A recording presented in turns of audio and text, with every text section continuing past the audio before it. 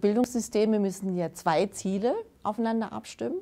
Also zum einen ähm, die Potenziale der einzelnen Menschen entfalten und zum anderen aber auch sicherstellen, was braucht die Gesellschaft. Und diese Abstimmung wird jetzt eben zunehmend schwieriger.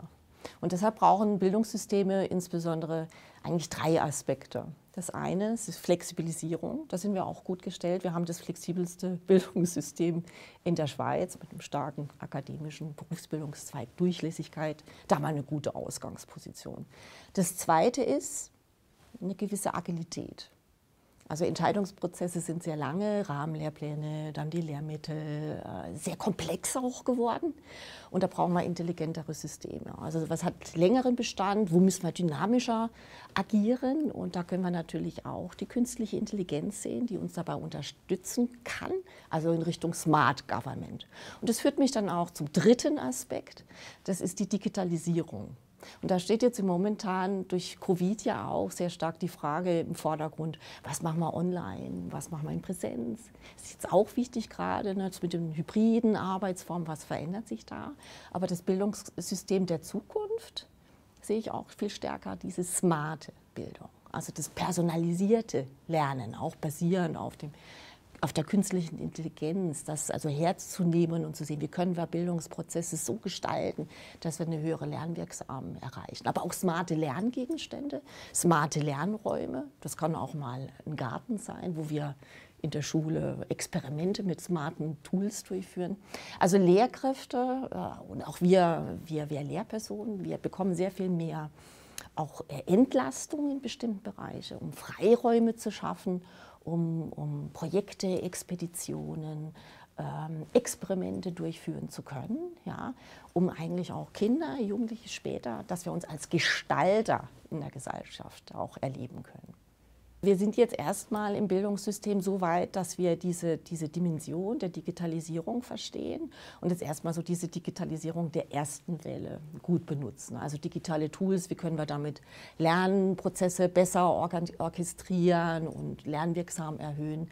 Diese Potenziale der künstlichen Intelligenz zu nutzen, da stehen wir jetzt eigentlich erst am Anfang und da sehen wir aber auch schon viele einzelne Piloten, was das bedeuten könnte, gerade für dieses personalisierte Lernen, wenn es auch auch Entlastung bringt, wenn wir personalisierte Rückmeldesysteme bekommen. Ich denke, da werden wir schneller vorangehen, weil man die auch gut skalieren kann, gerade was zum Beispiel Schreibkompetenzen anbelangt. Wie lernen wir Sprachen? Das werden solche Kompetenzbereiche sein, da geht es vermutlich schneller. Und in anderen Bereichen, also jetzt äh, die sozialen Roboter, wie kann man die jetzt noch gewinnbringend? Da brauchen wir länger. Ja? Also auch welche Akzeptanz hat das dann in unserer Gesellschaft? Da befinden wir uns jetzt eigentlich auch erst in der Diskussion und äh, das ist eigentlich noch ein bisschen offener. Mit der künstlichen Intelligenz, die ja auch noch äh, zusammenläuft, ja, mit den wirklich neuen Entwicklungen, die wir auch in der Hirnforschung haben, ist tatsächlich vieles möglich und auch denkbar. Also nur um ein Beispiel mal zu nennen, es gibt ein adaptives Lernsystem in, in Stanford entwickelt, wo also ähm, sehr früh schon erkannt wird, gibt es eine Leseschwäche, ähm, gibt es da Anom Anomalien und wirklich dieses System so ein Training äh, äh, anbietet, damit das ganz genau abgestimmt ist, nur auf dieses einzelne Kind. Also es ist wirklich sehr viel möglich, pädagogisch sinnvoll. Ähm,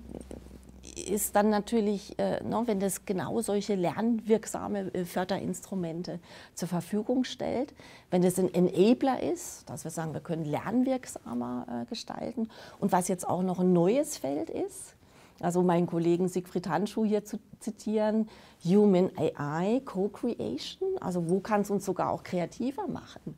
Wo kann es uns inspirieren? Also dass wir zum Beispiel einen gemeinsamen Schreibprozess ja, mit der KI haben und wir Dinge entdecken, die wir vorher noch nicht entdeckt haben, dann bringt es uns eigentlich auch ja, auf ein ganz gutes Kompetenzniveau, was ich nicht schaffen würde ohne diese Technologie. Und das ist natürlich auch pädagogisch wünschenswert. you